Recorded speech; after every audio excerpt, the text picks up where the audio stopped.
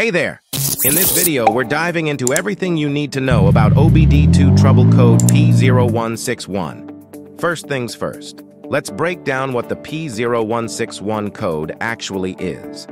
This code gets triggered when the engine control module detects a fault in the heater circuit of the oxygen sensor. Specifically, we're talking about the oxygen sensor heater circuit for Bank 2, Sensor 2. Now let's learn what is Bank 2 Sensor 2.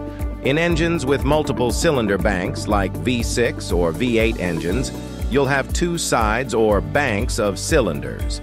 Bank 1 typically refers to the side of the engine where cylinder 1 is located, and Bank 2 is on the opposite side.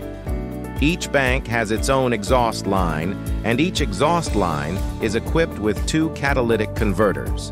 Now here's where the oxygen sensors come in.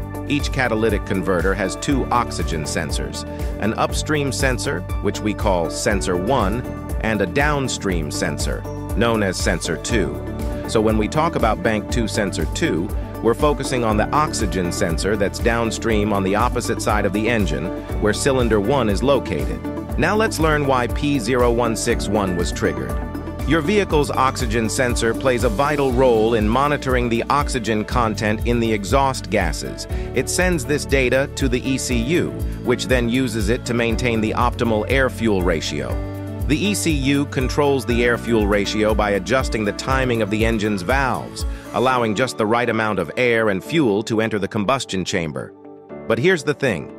An oxygen sensor won't function correctly until it's heated to a certain temperature around 600 degree Fahrenheit for conventional sensors. That's where the heater circuit comes in. It's designed to warm up the sensor quickly so it starts working sooner. The ECU regularly checks this heater circuit to make sure it's functioning properly. If the ECU detects a problem with the heater circuit in the oxygen sensor on bank 2, sensor 2, it triggers the P00161 code. Now that we know what P0161 means, Let's find out how to fix it. Troubleshooting P0161 involves several steps, and we'll discuss each one in detail. Let's get started. Before diving into specific repairs, perform an OBD2 scanner reset to clear the codes. Sometimes these codes pop up due to recent maintenance work and can resolve themselves after a reset. To reset the error codes, use an OBD2 scanner. You can find the best OBD2 scanner using the link in the description below. Simply connect the scanner to your vehicle, follow the instructions to clear the trouble codes, and see if the P0161 code reappears. If the code comes back, it means there's a persistent issue that needs further troubleshooting. Step 1. Start by visually inspecting the heated oxygen sensor. Carefully examine the sensor itself, along with the wiring and connectors. Look for any signs of physical damage, such as cracks, frayed wires, or loose connections. If the HO2 sensor appears to be damaged, it's best to replace it. Make sure to get the correct sensor for your car's make and model.